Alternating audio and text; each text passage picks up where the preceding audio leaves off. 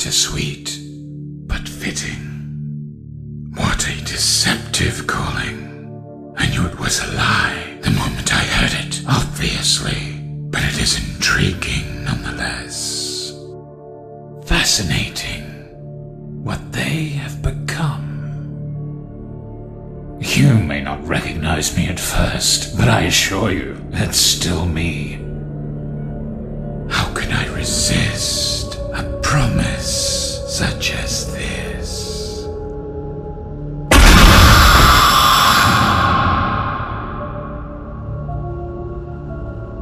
That was easier than I thought it would be.